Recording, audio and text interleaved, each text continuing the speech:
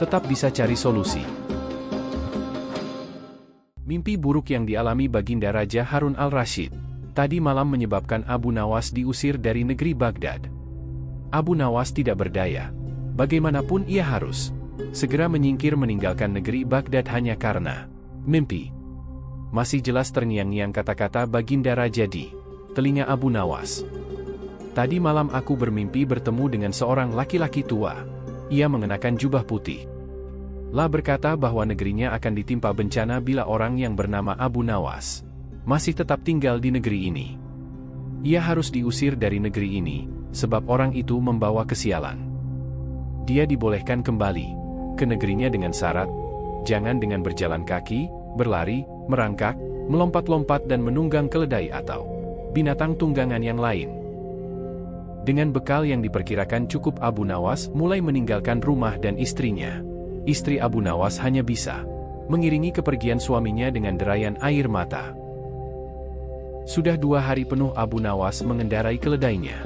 Makanan yang dibawanya mulai menipis. Abu Nawas tidak terlalu meresapi. Pengusiran dirinya dengan kesedihan yang terlalu mendalam. Sebaliknya Abu Nawas merasa bertambah yakin bahwa Tuhan, yang Maha Perkasa akan segera menotong keluar dari kesulitan, yang sedang melilit pikirannya bukankah tiada seorang teman pun yang lebih baik daripada Allah Subhanahu wa Ta'ala dalam saat-saat seperti itu?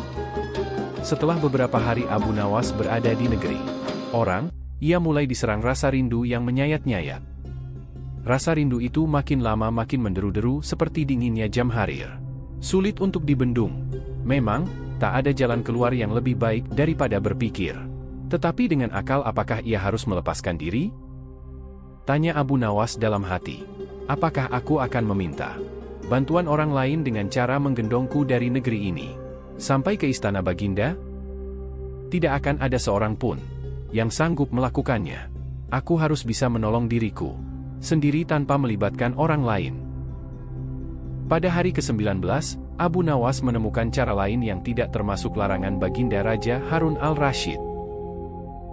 Setelah segala sesuatunya dipersiapkan, Abu Nawas berangkat menuju ke negerinya sendiri.